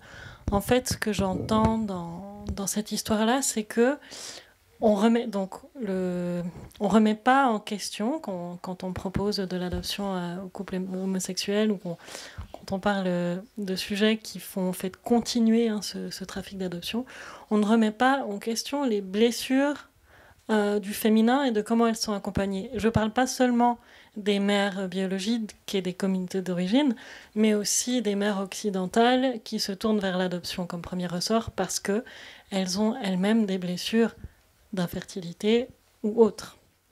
Je pense que vraiment l'essence du problème est de pouvoir donner une place à ces femmes, celles euh, qui n'ont pas pu être accompagnées dans leur grossesse ou celles qui n'ont pas pu mettre au monde et qui souffrent de, de cette je dirais pas même blessure, mais c'est finalement une blessure qui se miroite. Voilà. Donc, juste un peu pour remettre aussi l'importance sur comment est-ce qu'on accompagne euh, l'expression, la, prise de voix de, ces parcours. Pour les personnes adoptées, il y a vraiment tout un, voilà, tout un trajet à faire. Donc, ça se fait par des, par des projets artistiques parce que ça nous permet de prendre distance avec euh, des, des, histoires difficilement recevables pour nous-mêmes et pour euh, ceux qui les entendent. Et je pense que c'est tout à fait pareil pour les mères biologiques et les mères adoptives. Sarah, you wanted to say something? Yeah, it also um, taps into what, what Venica just said. Like, I think it's it's. I think I in, in still in conversation with people and also progressive people in the West, they still uh, cannot believe that that it's uh, not that they still cannot believe that it's a good thing that it's not a good thing to adopt uh, children from Asia, South America, uh, Africa, name it, and and because uh, the image is persistent of of um, that. Um, these black, these colored, these Asian cute girls or uh, boys and girls are um, they they need the Western people, and but not realizing they're actually they they create the the the they are they are the the top part of the chain. They because of they their demand, it's created that um, um, uh, women are being kept uh, uh, under pressure or put under pressure to to uh, come to this um, um, hopeless act of, of uh, relinquishing their child instead of um, helping and supporting them to uh, preserve a family life or um, or to think of other ways in societies to improve the positions of women um, when they are single mother or to educate on um, uh, uh, sex education. And so there's there's many many uh, narratives persistent which keeps it um, alive and and I think that the, the most tough one is is that yeah amongst progressive people to they, they cannot believe that this is that this is actually not a good thing to do and um, maybe it's a bit of a bomb in the in the audience, but but but uh, that keeps the the thing going actually. Ben, euh, du coup, avant d'ouvrir la parole à la salle, euh, je voudrais dire que ces, dernières interventions sont très intéressantes puisque euh, si vous avez lu le descriptif de la discussion, je parlais justement de, des questions de justice reproductive et d'arriver à considérer justement les questions d'accès à la contraception, à, la, euh, euh, à, toutes les techniques de reproduction ou aussi euh, effectivement les techniques de construction de famille d'un point de vue, on va dire, intersectionnel, c'est-à-dire d'arriver à faire rentrer les questions de race, de classe et de genre. Parce qu'en fait, si on s'arrête dans les questions de l'accès à fonder une famille pour toutes et tous, c'est-à-dire l'accès pour les couples et ou les personnes homosexuelles et ou trans, et la possibilité de fonder des familles, si on s'arrête juste à la question du droit à l'enfant, qui est historiquement en plus un argument qui était porté par les familles hétérosexuelles, euh, justement pour pouvoir avoir accès à des enfants en adoption, etc., on, oublie une partie de la conversation qui est celle justement des inégalités, des rapports nord-sud et du fait qu'il y a un marché et que ce marché se déplace. Et ce que je, disais en, aparté à Fenneke, c'est que dès qu'un pays, euh, généralement du sud ou autre, hein, parce que ça a été le cas en Russie aussi, arrive à se remettre un petit peu d'aplomb, euh, la première chose qu'ils font, en général, ça va être de couper l'accès à l'adoption pour les étrangers. Et c'est ce qu'a fait l'Éthiopie. Alors, l'Éthiopie l'a fait récemment, là, en janvier de cette année, après plusieurs scandales aux États-Unis, où des enfants éthiopiens avaient été en plus par la suite euh, assassinés au sein de leur famille adoptive aux États-Unis. Et donc, après un certain nombre de scandales, euh, l'Éthiopie a, mis fin aux adoptions internationales euh, de façon euh, complète en janvier de cette année. Et donc, je pense que dans cette volonté, et là, il y aurait énormément de discussions. Hein. Moi, dans mes panels rêvés, il y avait justement la question euh, de l'adoption et de la GPA et de la PMA, etc., euh, pour les communautés queer, parce que ça, c'est une conversation que je ne vois jamais arriver, c'est-à-dire qu'est-ce que ça veut dire d'avoir euh, les questions raciales, les rapports nord-sud, les questions économiques dans les parentalités queer, et, et, il ne s'agit pas de, de, reproduire justement cette violence qui est celle du discours du droit à l'enfant. Il n'y a pas le droit à l'enfant, il y a des désirs d'enfant, il y a des désirs de fonder une famille qui sont tous légitimes. Après, les moyens pour construire ces familles-là doivent être questionnés, qu'on soit hétéro ou qu'on soit queer. Parce qu'en fait, ces moyens-là font effectivement jouer énormément de rapports de pouvoir. Donc ça, espérons que ce sera une discussion pour l'année prochaine. Mais vous pouvez aussi euh, en parler maintenant si vous voulez, euh, en tout cas dans vos questions. Et puis, euh, je pense que... Ah oui, et si, ça vous intéresse aussi de voir un peu les migrations de marché de l'adoption internationale et aussi la recherche qui est faite actuellement par Anne-Marie Pichet, qui est prof à l'Université du Québec à Montréal et qui a monté justement aussi un cours en adoption internationale de 45 heures en travail social et qui fait aussi une recherche sur euh, les pays où la GPA a remplacé l'adoption internationale. C'est-à-dire que la Colombie était un pays qui envoyait énormément d'enfants à l'adoption internationale et quand, avec la Convention de la l'adoption internationale a commencé à être régulée en Colombie, d'un coup, c'est la GPA qui a, euh, qui a explosé en Colombie. Donc ça aussi, c'est intéressant de voir un petit peu comme ça dans les pays euh, comment certaines pratiques euh, se modifient en fonction des modifications aussi de la législation internationale. Donc voilà, vous pouvez aller voir. la gestation pour autrui, pardon. Et, euh, et puis, euh, toute la question aussi de féminin versus féministe, mais alors là, ce serait tout un autre débat, parce que moi, je, suis un peu moins dans le, on va dire, dans, dans, le, dans le versant, euh, enfin, je pourrais dire, comme de, vraiment la question du féminin. Moi, ce qui m'intéresse beaucoup dans ces questions, c'est vraiment les rapports nord-sud, l'impérialisme et certaines violences qui, qui aussi, moi, que je vois aussi comme des violences coloniales qui se sont comme quasiment jamais, jamais arrêtées, mais effectivement qui ont un impact sur le corps des femmes, qui sont des violences faites aux communautés et en particulier aux femmes. Et puis je pense que dans, dans ce que disait Sarah euh, et que, et que j'aimerais qu'elle arrive à, à, on va dire, à rentrer dans, le, dans la psyché collective dans les pays du Nord, c'est aussi la question d'inverser la charge de la gratitude. C'est-à-dire que souvent, euh, dans une conception moralisatrice, euh, ou en tout cas morale et humaniste de l'adoption, on va considérer que ce sont les enfants qui ont eu de la chance puisqu'ils ont été sauvés. Euh, effectivement, ce qu'a très bien dit aussi Dida, c'est que les couples, en particulier hétérosexuels qui adoptent, souvent adoptent en, euh, issus d'un parcours d'infertilité. J'ai pas les statistiques en Suisse, mais en France, euh, 7 couples adoptants sur 10 sont des couples qui ont choisi l'adoption après un parcours d'infertilité. Donc ça veut dire que ce n'est pas le premier choix de parentalité pour la plupart des gens qui adoptent. Et ça aussi, c'est intéressant parce qu'en fait, puisque ce n'est pas le premier choix de parentalité, ça veut dire que sans adoption, ces personnes-là ne pouvaient pas faire famille. Donc si quelqu'un a de la gratitude à exprimer, ce sont les parents adoptants au moins autant que les personnes adoptées qui ont été plus ou moins sauvées. Et je pense que cette, cette gymnastique-là ne se fait pas encore beaucoup, et c'est pour ça qu'on a des réactions très violentes, surtout quand on est dans des institutions où finalement la parole a été monopolisée, mais discrètement. Ce sont toujours les minoritaires qui se situent. C'est-à-dire que moi, je vais faire une, une, recherche, j'ai fait, fait un mémoire en sociologie sur la mobilisation politique des adoptés adultes, et puis je vais dire dans mon mémoire, moi, je suis une personne adoptée, et voici ma position. Dans les recherches faites par des parents adoptants, euh, ou par des personnes travaillant en agence, c'est très rare qu'elle se situe.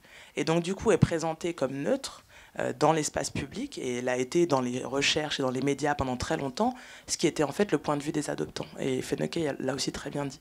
Donc c'est pour ça qu'on est aussi dans quelque chose, ne serait-ce que dans la prise de parole des personnes adoptées aujourd'hui adultes. Déjà ça aussi, c'est une forme euh, d'action politique puisque, puisque ça, ça, ça, a déjà tendance, avant même qu'on parle de questions politiques, à piquer les gens qu'on ose revenir sur l'expérience qui a été la nôtre en disant qu'il y avait peut-être des choses qui auraient pu être faites mieux, euh, ou en tout cas de façon plus éthique. Et puis maintenant, comme on a déjà largement dépassé, euh, je vais vous inviter à poser des questions en sachant que, comme toujours, euh, quand j'anime des débats, j'invite les personnes qui sont concernées euh, à prendre la parole en premier si elles veulent. Hein, vous n'êtes pas obligé. Mais donc, les personnes adoptées, vous avez la priorité au micro. si vous êtes aussi une, mère qui s'est séparée de son enfant, vous avez aussi la priorité au micro. Et puis, voilà, ne soyez pas timide. posez des questions comme si c'était bientôt la fin de cette discussion, puisque ce sera bientôt la fin. Donc. N'attendez pas que je dise maintenant c'est fini. Voilà. Et aussi quand vous, vous posez votre question un peu fort, parce qu'il faut que je la répète après dans le micro, parce que c'est enregistré.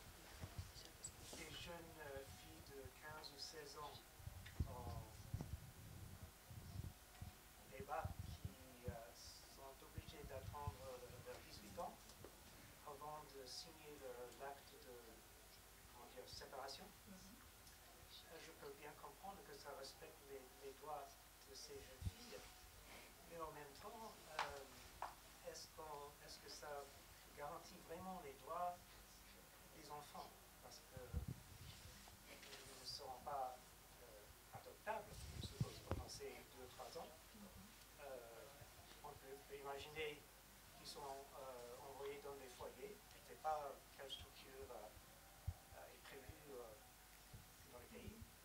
Mais est-ce que c'est. Je, voudrais avoir votre avis sur la question. Est-ce que c'est vraiment dans le meilleur intérêt de l'enfant de rester sans sa mère pendant X nombre d'années, surtout sans savoir pendant quelques années si,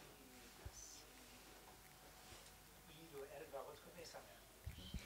Alors, hum, la question portait sur l'intervention de Fennecke euh, sur euh, la réforme de la loi euh, aux Pays-Bas qui permet aux, aux mères mineures de signer le papier concernant la séparation légale avec leur enfant quand, elles ont atteint la majorité Et est-ce que cette loi est vraiment dans le meilleur intérêt de l'enfant à savoir le côté l'enfant qu'a eu cette mère qui est elle aussi une enfant? Et donc je passe la parole à Fennec merci pour la question. Bien sûr, euh, je pourrais répliquer quel enfant.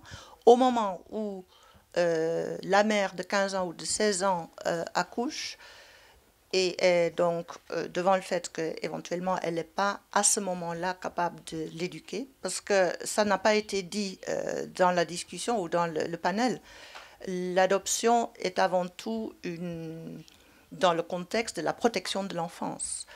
L'enfant qui ne peut pas grandir pour une raison X ou Y dans sa famille, euh, l'enfant a droit à une famille. Alors ça peut être l'adoption, mais ça peut aussi être foster care ou euh, des familles d'accueil intermédiaire, enfin, comment dire, intérimaires. Euh, parce que l'adoption, ça coupe vraiment le lien de filiation, puis c'est irréversible. Bon, certaines lois ont quelques exceptions, mais c'est irréversible.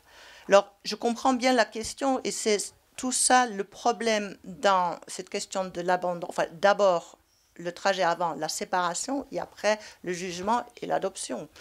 Euh, souvent, c'est dans la panique parce qu'on se rend compte qu'on est enceinte. Peut-être on est déjà trop tard pour l'avortement, là où l'avortement est légal. Et puis après, il faut prendre une décision parce qu'il y a aussi tous les théoriciens qui sont sur l'attachement de l'enfant. Il ne faut pas qu'il soit séparé, il, elle, euh, trop euh, souvent des adultes qui peuvent les prendre, euh, enfin qui peuvent prendre soin de cet enfant pour le séparer. Alors, de la perspective de la mère qui se sépare de l'enfant pour x y raison,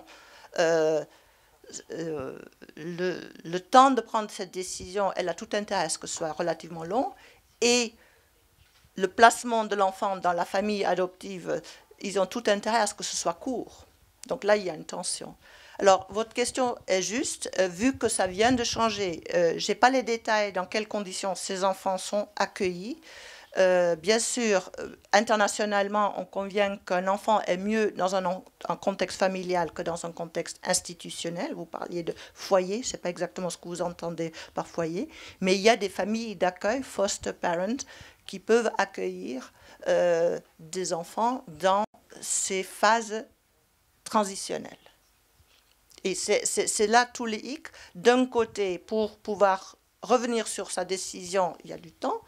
Mais on a interviewé des jeunes mères qui ont abandonné leur enfant à l'âge de 15 ou 16 ans. Toute leur vie était euh, upside down. C'était la panique, la pression sociale, pas d'autonomie décisionnelle, pas d'autonomie de vie du tout, parce que pas de, revenus, etc. Puis à l'âge de 25 ans ou 35 ans, rétrospectivement, on a eu des histoires pas de douleur, elle parle de douleur, etc., de, vraiment de, de regret de l'avoir fait dans des circonstances où elles ont dû faire. Donc je n'ai pas une réponse euh, claire, mais effectivement, c'est sous le radar, euh, enfin c'est euh, en vue de comment justement accompagner cette phase transitionnelle. But I think I also think it's it's also not just uh, about that young girl, that mother, but also a problem of society, which we all have to think about. Like, how do we deal with uh, uh, young mothers getting a uh, getting a child? It's because now it's all put on the shoulders of, of younger women, but it's it's a it's a situation we all have to deal with as a society. And uh, there are different ways of, of preserving um, the, the family lines. And and uh, the, the separating them is, is it should be really really on the far furthest end of the yeah. The spectrum. Yeah, and not and not like presented as the best solution Oui, parce que moi je pense qu'il y, a vraiment plusieurs choses, c'est-à-dire qu'à partir du moment, euh, c'est en fait c'est pas une chose qui devrait être présentée comme euh, étant équivalente et immédiate. Le fait qu'une femme soit jeune ou qu'elle soit précaire euh, ou qu'elle soit isolée à un moment donné de sa vie et qu'à ce moment-là elle soit enceinte ou qu'elle ou, qu'elle ou que l'enfant soit arrivé, c'est pas en fait du tout un automatisme de se dire que la séparation est le choix à, à, prendre et ensuite en plus que le second choix immédiat c'est la l'adoption. Il y a énormément de choses qui peuvent se passer entre ces différents choix. Et d'ailleurs, il suffit de sortir de l'Occident euh, ou même des périodes, euh, des périodes contemporaines. Avant la révolution industrielle, il y a euh, des familles entières qui vivent sous le même toit et les enfants sont plutôt élevés par les grands-parents que par leurs parents. En France, dès qu'on regarde dans la Caraïbe, avant vraiment l'introduction de l'État dans ces familles-là, euh, les enfants qui étaient justement à un moment donné élevés pendant un an, deux ans, trois ans par des voisins, euh, par la communauté élargie, c'est pareil. C'est pour ça que j'ai dit tout à l'heure un enfant à soi. Est-ce qu'on considère que les enfants appartiennent à la communauté ou est-ce qu'on considère que les enfants, c'est les enfants de la propriété d'une famille nucléaire? Si on considère que c'est la responsabilité de la communauté, effectivement, on va mettre en place, par exemple, pour les femmes précaires, des systèmes de garde la nuit. En France, on préfère retirer les enfants d'une femme qui travaille le soir si on trouve ses enfants tout seuls chez elle que de lui donner des allocations pour qu'elle puisse continuer à travailler et s'occuper de ses enfants. Donc cette question de vraiment mettre aussi la responsabilité sur la société. Est-ce qu'on va aller prendre tout de suite les enfants des femmes précaires, des femmes isolées, euh, des femmes jeunes, etc. Ou est-ce qu'on va réfléchir à qu'est-ce qui pourrait leur permettre peut-être euh, de s'occuper de cet enfant quand elles, ont, quand elles en ont les moyens, euh, quand elles en ont la capacité. Mais effectivement, comme c'est tout de suite lié de l'autre côté à une demande, et c'était pour ça aussi que c'est important que Feneke parle d'offre et de demande, c'est parce qu'il y a une pression pour avoir des enfants, et surtout pour avoir des petits-enfants. Et c'est pour ça que j'ai dit tout à l'heure, en bonne santé. Et avant, c'était idéalement blanc, parce que ça aussi, c'est une chose qu'on aurait pu aborder. Euh, le, transfert vers l'adoption transnationale, c'est les années 70, parce que comme Feneke l'a dit, c'est le recul de l'âge auquel on a des enfants, c'est l'accès à la contraception, et donc en fait, c'est la baisse du nombre de bébés blancs disponibles à l'adoption localement dans les pays occidentaux euh, qui ouvre les portes de l'adoption transnationale, parce que quand on ne peut pas avoir de bébés blancs en bonne santé, on finit par se tourner vers l'étranger, c'est ça qui s'est passé. Donc c'est parce qu'il y a une demande pour des enfants de la part de couples infertiles, et demande qui effectivement maintenant grandit, puisqu'arrivent aussi les couples euh, LGBTQIA, etc., qu'il va y avoir une pression sur les femmes jeunes, les femmes précaires, les femmes isolées, etc. Et donc ça, cette question, on doit se la poser. Justement, est-ce qu'on veut penser les parentalités, les filiations en termes de communauté, ou est-ce que si tout le monde veut un enfant à soi, eh ben effectivement, il va y avoir une compétition féroce, et ce qui est finalement aussi déjà le cas aujourd'hui, de qui peut avoir ses enfants à soi. Et après, ça va devenir des arguments. Par exemple, il y en a qui vont dire que non, il n'y a que les hétéros qui peuvent avoir un enfant à soi. Il y en a d'autres qui vont dire que non, il n'y a que les bourgeois blancs, euh, etc., qui riches, qui peuvent avoir euh, des enfants à soi, etc. Mais là, on n'est pas dans un changement de paradigme. Moi, je pense que nous quatre, ce qu'on aimerait, c'est qu'on arrive à un changement de paradigme où la question, c'est pas comment venir euh, rencontrer la demande pour des enfants jeunes, enfin en bas âge, en bonne santé, pour les couples qui n'en ont pas, mais c'est comment est-ce qu'on fait pour qu'effectivement chaque enfant ait une famille ou grandisse protégé et dans une communauté et, ce changement-là de, mentalité, ça va prendre beaucoup de, beaucoup de panels, beaucoup de recherches, beaucoup de lobbying, beaucoup de création pour arriver à, le, faire advenir. Est-ce que je peux juste ajouter une chose? Euh, Au sein du Parlement néerlandais, en 2016, il y a eu une discussion qui, de la prohibition complète de l'adoption transnationale. Ça n'a pas, été, ça n'a pas passé, mais en tout cas, c'était une discussion pour les raisons qu'Amandine vient de voir, qu'il y a toutes sortes d'autres solutions à, à, penser pour l'accueil d'un enfant qui ne peut pas être à un moment donné de sa vie ou de la vie des, parents biologiques euh, dans la propre famille. Alors il y a des arguments pour et contre, je ne vais pas élaborer ici, euh, mais c'est quand même intéressant que euh, y a, ça a été discuté au sein d'un Parlement. Yeah, and to add also, I mean, it's the, the thing just it, it attracts uh, so many uh, opacity and so much um, shady organizations, and there is no real government control on it. And also, all the adoption agencies, also in the Netherlands, are private. So there, and also in Korea, like all the adoption agencies are, are, are private. So there's little to. It's very difficult to control, and also, uh, I mean, the adoption agency who adopted who arranged adoption with me, they actually uh, confess, yeah, we, we made you, your your adoption was illegal and probably uh, your your papers were falsified.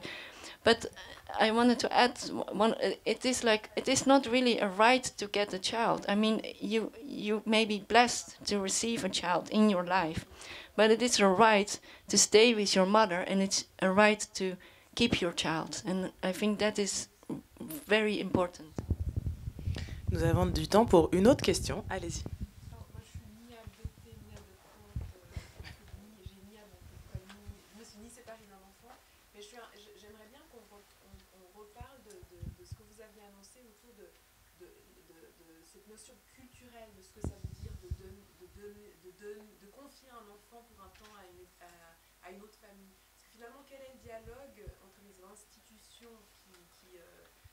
l'adoption et, les familles qui ont peut-être une autre notion de ce que ça veut dire.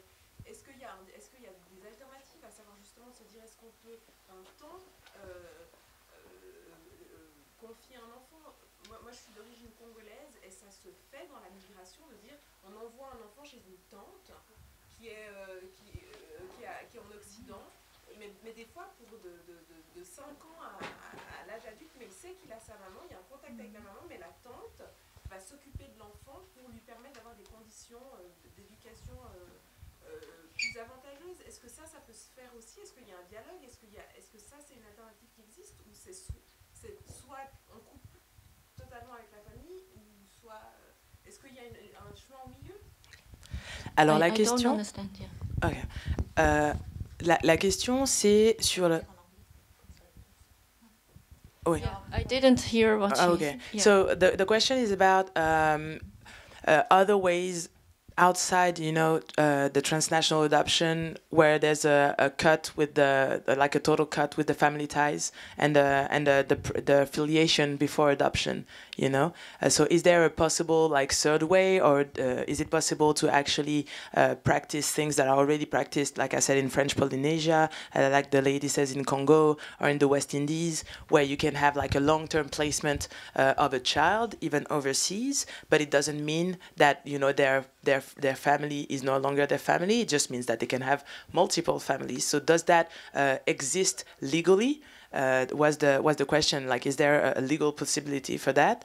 Um, je vais commencer une réponse pour la France parce que le problème de cette question, c'est qu'elle se pose dans les pays de départ et dans les pays d'accueil. Et donc, pour l'adoption internationale en général, depuis la Convention de l'AE en 93, elle doit se passer dans un, dans un cadre de rupture totale des liens de filiation antérieure. Donc y a adoption internationale, il faut qu'il y ait un papier qui, euh, qui entérine cette rupture des liens de filiation euh, antérieure totale. Après, par exemple, comme j'ai dit au début, pour la France, il y a des exceptions. Donc il y a l'exception de la Polynésie française, où là on est sur des adoptions simples, c'est-à-dire avec rapport avec la, famille, euh, avec la première famille, parce que justement euh, la, la, spécificité culturelle de la Polynésie française est respectée dans le droit français dans les cadres d'adoption. L'adoption simple existe en France, mais du coup elle n'existe que pour les enfants de nationalité française. C'est-à-dire c'est une adoption qui n'auront pas les liens de filiation avec la première famille.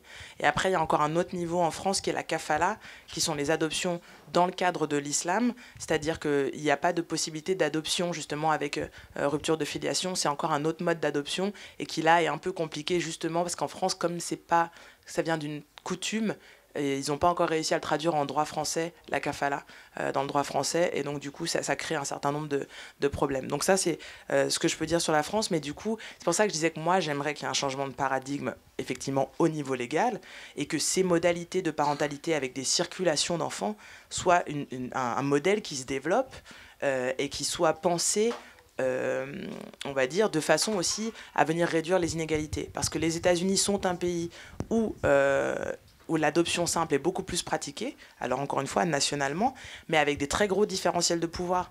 Donc qu'est-ce que ça veut dire aussi? Quand une femme pauvre afro-américaine a un enfant qui est adopté par une famille blanche bourgeoise euh, et qu'ils ont effectivement des rapports où elle peut voir son enfant le week-end, les vacances, etc. Mais qu'en fait, ça va être aux conditions de la famille blanche et que finalement la famille blanche va l'utiliser plus ou moins comme la nounou de leur enfant quand eux veulent partir en week-end, etc. Alors oui, elle a, elle a, elle a un rapport avec l'enfant, mais pas forcément en des termes aussi équitables. Donc ça, c'est vraiment des modèles à développer, euh, mais c'est propre à chaque pays, donc je. Oui, peut-être juste ajouter du coup pour, la Suisse, en miroir à la France. Nous, vraiment, ce qui fonctionne ici, enfin, ce qui est en place juridiquement, c'est l'adoption plénière. Et l'adoption, c'est bien le, terme de plénière qui dit que les liens de filiation sont rompus. Donc je trouve aussi que enfin, c'est une piste de réflexion tout à fait intéressante pour comprendre comment la société fonctionne et pense la filiation, en fait, et la famille nucléaire. En Suisse, c'est vraiment ça. C'est vraiment... Euh, intéressant de, creuser ce, sujet-là. Euh, c'est pas pareil partout. Au Canada, on a là aussi l'adoption ouverte, par exemple, euh, qui, euh, qui en gros stipule qu'il y a des intermédiaires entre la famille biologique et la famille la famille adoptante et qu'il y a vraiment un contact voilà, qui est gardé du début à la fin, même avant l'adoption. la famille biologique sait dans quelle famille va son enfant, etc. Donc il y a vraiment plusieurs modèles. La kafala, ben, c'est très répandu euh, voilà, dans le milieu musulman. Peut-être une petite histoire là-dessus euh, qui me fait rire, mais qui n'est pas drôle du tout. c'est que, parce que j'ai eu beaucoup affaire à ça au Liban. Euh, il y a beaucoup d'enfants musulmans qui auraient pu être placés en kafala, donc dans leur famille proche, et qui en fait ont été baptisés chrétiens pour pouvoir être vendus en adoption internationale. Donc euh, c'est intéressant de voilà, on, rencontre des personnes adoptées euh, avec des papiers euh, tout à fait chrétiens, de crèche, etc. Et puis finalement elles retrouvent leur famille biologique dans les montagnes druzes du Liban. Enfin c'est pour la petite histoire, ça va vraiment loin. je dirais dans voilà, on, peut dire que c'est un miroir de comment les sociétés s'organisent autour de la des questions de filiation si ça répond un peu à votre questionnement. Yeah, because I think it brings out the worst in people, uh, what, what, we don't expect. Like there is because the the law also in Korea.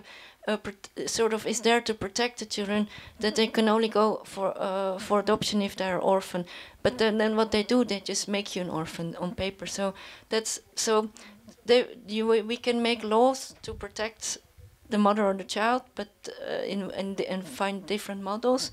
But there will be holes in it, and then people are making it turn the other way actually also. So it's very. I mean, it's good to think of different third ways, or um, but yeah, it's tricky.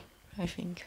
Je pense que si je peux me permettre, pour résumer ça, peut-être du moment qu'on qu'on est prêt à se dire qu'on accompagne un enfant, en fait, que ce soit son enfant biologique ou non, qu'il ait adoption ou non, euh, des solutions euh, tout à fait euh, viables peuvent être trouvées.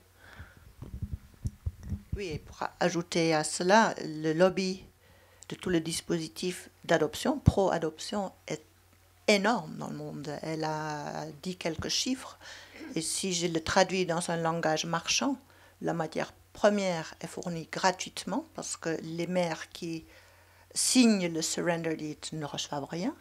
Et comme j'ai dit, par exemple en Inde, elles sont dans ces maisons où les familles adoptantes viennent et elles voient qu'il y a de l'argent qui passe.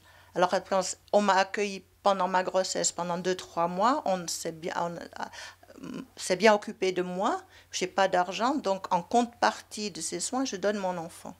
Et puis après, dans tout le circuit, euh, ben, c'est justement sur le, site du quel ministère au, en Canada, je sais pas, on a les tarifs. Thaïlande, le, Thaïlande de temps, euh, Corée temps, etc. Donc si on veut adopter, euh, quelque part, c'est aussi coût-bénéfice pour ça. Et effectivement, dans les pays africains ou d'autres, le confiage, c'est un système très, comment dire, très judicieux pour tout le monde, en fait mais l'adoption coupe la filiation.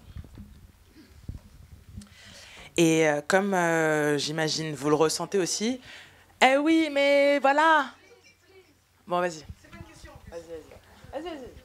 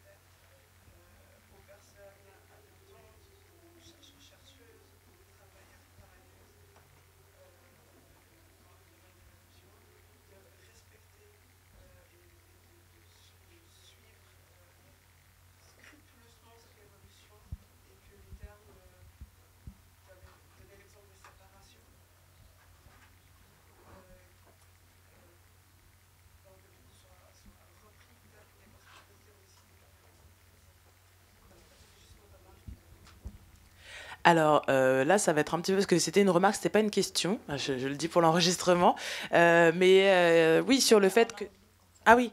Ah, ah ok sur, sur, le fait que euh, c'est effectivement important de bah, d'écouter euh, euh, et, de suivre les recherches et les créations des personnes adoptées qui sont aujourd'hui adultes et puis qui essayent de, de, on va dire d'investir l'espace public avec avec une, une, une, réflexion à développer justement sur ces questions de filiation et sur ces questions des voilà des intersections et des rapports de pouvoir et des questions de classe, de race et de genre, encore une fois, dans les filiations et les parentalités, puisque généralement c'est aussi dans le champ de l'intime que c'est aussi le plus dur de faire exister la question politique euh, et que c'est pour ça qu'il a été, je pense, difficile pendant, pendant longtemps pour les personnes adoptées d'arriver avec un discours politique dans l'espace public parce que euh, c'est très très difficile quand on choisit de travailler sur la famille, euh, les constructions des familles, sur le genre, les femmes, etc., d'arriver à être entendu et d'arriver à sortir effectivement de, de discours moralisateurs et, et humanistes, mais qui ont aussi dans le cadre des adoptés quelque chose d'infantilisant, puisqu'on on nous appelle aussi encore souvent les enfants adoptés. Et ce que j'explique, c'est que euh, si on prend le cas de l'adoption transnationale, ça commence à la Deuxième Guerre mondiale. Hein. Euh, l'envoi des enfants euh, métissés de, GI afro-américains ou de troupes coloniales françaises avec des femmes allemandes qui ont été envoyées vers les États-Unis. la gestion de ceux qui ont été longtemps appelés les Brown Babies et qui ont milité pendant très longtemps aussi pour être appelés les Black Germans, parce qu'en fait, ce sont des Allemands noirs et qu'effectivement, maintenant, ils ont entre 60 et 75 ans, donc c'est plus du tout des bébés. Euh, du coup, il y, a, vraiment tout cet enjeu-là de, euh, se réapproprier la narration, d'arriver à, à, montrer comment certains termes sont politiques et d'arriver à montrer comment notre présence ici, euh, au moins pour Dida, Sarah et moi, est aussi éminemment politique et les conditions dans lesquelles on est arrivé. Donc je voudrais encore remercier les participantes et je pense que comme moi, vous auriez aimé qu'on discute jusqu'au bout de la nuit, mais ce sera pour une autre fois. Donc merci encore à Sarah Seijin Cheng, à Dida Guigan et à Feneke Rezou. Euh, et puis euh, au Spoutnik, euh, aux Créatives, à, à Espace A, au collectif Outrage pour, pour cette belle édition suisse du mois des adoptés, puis la première édition du mois des adoptés dans le monde francophone. Et j'espère qu'il y en aura plein d'autres pour qu'on ait toutes ces discussions à l'avenir. Merci beaucoup.